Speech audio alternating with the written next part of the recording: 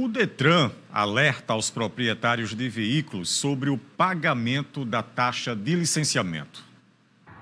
De acordo com o Departamento Estadual de Trânsito do RN, veículos com placas finais 1, 2, 3, 4 e 5 que não quitaram a taxa de licenciamento estão circulando de maneira irregular desde o dia 1 de novembro. Os condutores ficam sujeitos a multa e até a apreensão do automóvel.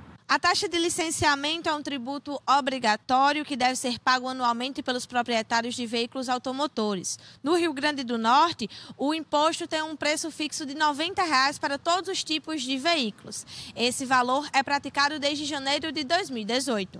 O departamento já deixa o alerta para os veículos com placas finais 6, 7 e 8, que têm até o dia 30 de junho para quitarem a taxa. Após esta data, o automóvel fica irregular. De acordo com dados do Detran, mais de 35% da frota do estado está inadimplente com o licenciamento. Para verificar pendências de taxas e realizar o pagamento, o proprietário do veículo deve acessar o portal de serviços do Detran.